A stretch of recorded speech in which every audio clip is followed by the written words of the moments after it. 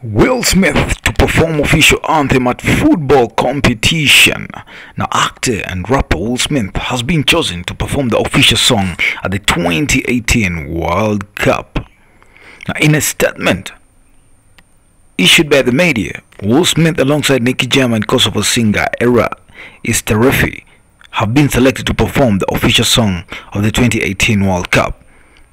Now, it was revealed that after a careful selection process, the trio of the American rapper slash actor Will Smith, who makes a return to music, Colombia best reggaeton artist Nicky Jam, and Kosovo singer Era, were the pick to perform this year's official 2018 FIFA World Cup Russia song that will be produced by US producer Diplo. Even though the World Cup has a number of songs associated with it, the official anthem stands out as it is usually performed either at the opening or closing ceremony of the football event and televised live to an estimated audience of 2 billion people.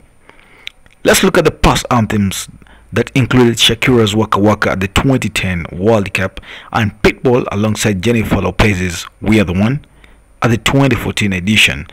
The song will be released May 25th with the World Cup build to take place from June 14th to July 15th, 2018.